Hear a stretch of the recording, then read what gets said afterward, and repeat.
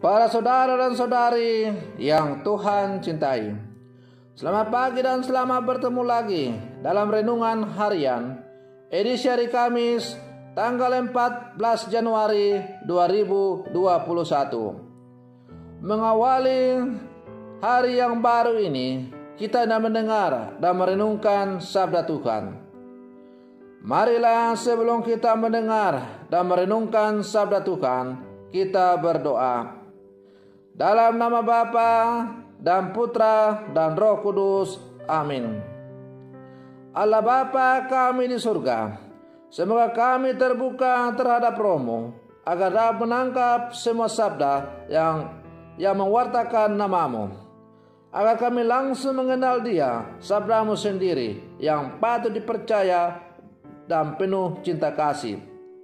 Bersabdalah ya Tuhan, kami siap untuk mendengarkan.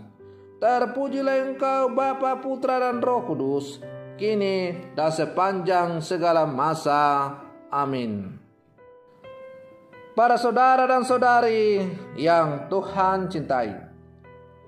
Sabda Tuhan yang hendak kita dengar dan kita renungkan bersama untuk mengawali hari yang baru ini diambil dari Injil Markus pasal 1 ayat 40 sampai 45. Tuhan sertamu. Inilah Injil Tuhan kita Yesus Kristus menurut Santo Markus. Sekali peristiwa, seorang yang sakit kusta datang kepada Yesus. Dan sambil berlutut di hadapannya, ia memohon bantuannya, katanya, "Kalau engkau mau, engkau dapat mentahirkan aku." Maka tergeraklah hatinya oleh belas kasihan, lalu ia mengulurkan tangannya, menjama orang itu dan berkata kepadanya, "Aku mau, jadilah engkau tahir." Seketika itu juga lenyaplah penyakit kusta orang itu dan ia menjadi tahir. Segera ia menyuruh orang itu pergi dengan peringatan keras. Ingatlah, janganlah engkau memberitahukan apa-apa tentang hal ini kepada siapa pun. Tetapi pergilah perlihatkanlah dirimu kepada imam dan per, persembahkanlah untuk pentahiranmu persembahan yang diperintahkan oleh Musa sebagai bukti bagi mereka. Tetapi orang itu pergi memberitakan peristiwa itu dan menyebarkannya ke mana-mana. Sehingga Yesus tidak dapat lagi dengan terang-terangan masuk ke dalam kota. Ia tinggal di luar kota di tempat-tempat yang sepi. Namun orang terus juga datang kepadanya dari segala penjuru. Demikianlah Injil Tuhan. Para saudara dan saudari yang Tuhan cintai, masih segar dalam ingatan kita ketika pandemi COVID-19 mulai melanda negara kita, termasuk kita yang tinggal di kota Jayapura ini. Banyak orang yang menolak mereka yang terpapar COVID-19. Dan karena itu mereka berjuang untuk menyingkirkan orang-orang yang terpapar virus corona ini. Seakan-akan orang yang terpapar virus corona ini adalah orang-orang yang terkutuk, yang harus disingkirkan dan mereka tidak layak untuk hidup di tengah-tengah masyarakat masyarakat merasa takut tertular dan seakan-akan penderita COVID-19 adalah ancaman bagi mereka. Para saudara dan saudari yang Tuhan cintai. Pada masa Yesus pun terjadi hal serupa, bahkan merupakan tradisi bahwa orang yang berpenyakit kusta diasingkan oleh masyarakat.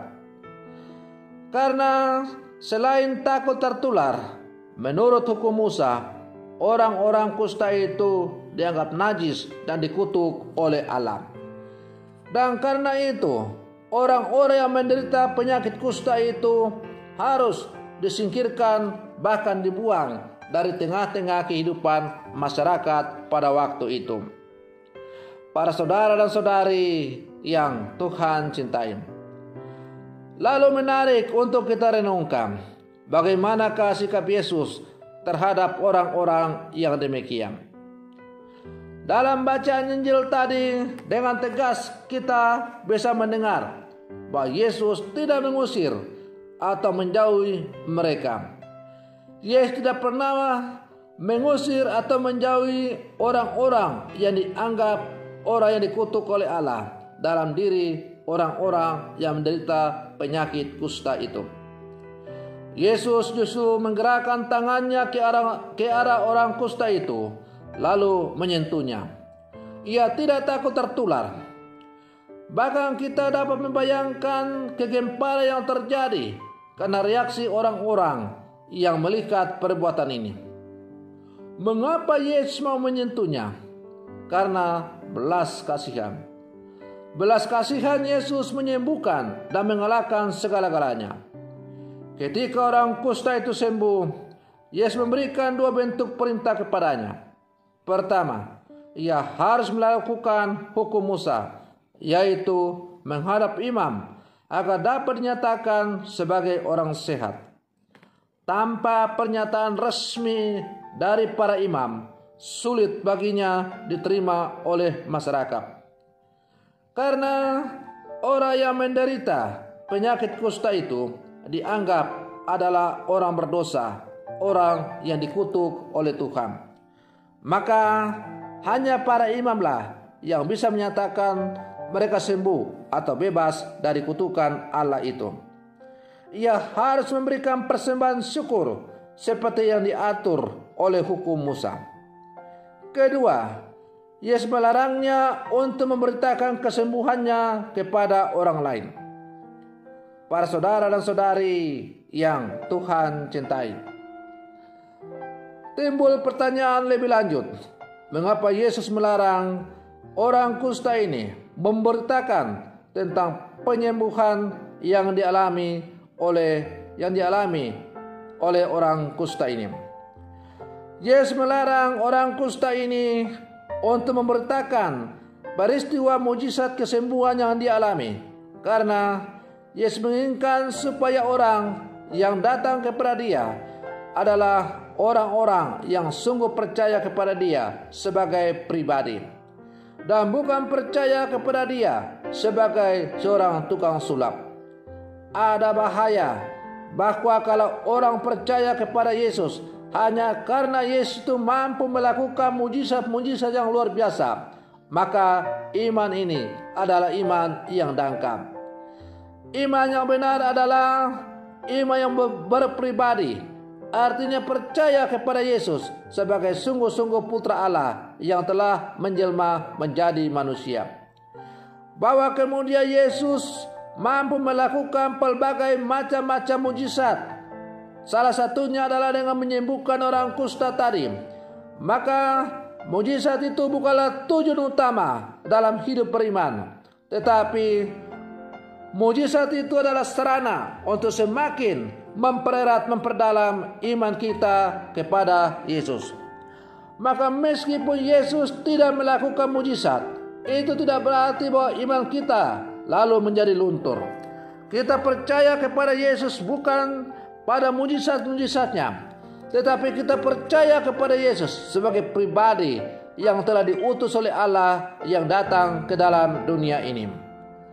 Para saudara dan saudari yang Tuhan cintai, dan kalau kita sungguh-sungguh percaya kepada pribadi Yesus yang telah diutus ke dalam dunia ini, maka itu berarti kita akan mewartakan Yesus sebagai sungguh-sungguh putra Allah dan bukan Yesus sebagai tukang mujizat. Para saudara dan saudari yang Tuhan cintai, ciri khas pelayanan Yesus adalah tergerak oleh belas kasih. Maka tak seorang pun yang ia tolak kalaupun penyakitnya sangat membahayakan dia. Pelayanan atas dasar tergerak hati adalah pelayanan dengan hati dan tanpa pamrih.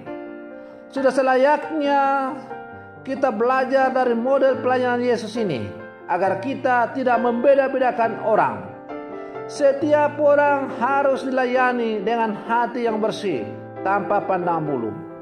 Karena itu, kalau kita sungguh-sungguh beriman kepada Yesus sebagai seorang pribadi, maka itu berarti kita akan mampu mewarisi, meniru, mencontoh teladan apa yang dilakukan oleh Yesus. Karena kita sungguh-sungguh beriman secara mendalam kepada Dia. Para saudara dan saudari yang Tuhan cintai, maka marilah kita sebagai murid-murid Yesus yang hidup sama sekarang, kita berjuang mencontoh teladan hidup dari Yesus yang selalu melayani tanpa pamrih dan selalu rela berkorban apa saja dalam melayani orang-orang yang membutuhkan pelayanan. Dan ia dan itu ia mampu lakukan karena ia selalu memiliki relasi yang akrab dengan Bapaknya. Kita pun yang hidup di zaman sekarang sebagai murid-murid Yesus, kita pun mampu melakukan hal-hal yang luar biasa seperti yang dilakukan oleh Yesus sejauh kita sungguh beriman kepada Dia dan memiliki kedalaman relasi yang sungguh mendalam dengan Dia. Salah satunya dengan selalu menjalin komunikasi yang akrab dengan dia melalui hidup doa. Semoga perminungan saya ini untuk mengawali hari yang baru ini semoga menghantar kita untuk menjadi murid-murid Yesus yang sungguh percaya dan tangguh dalam menjalani kehidupan di zaman sekarang. Semoga demikian. Selamat pagi. Tuhan Yesus memberkati.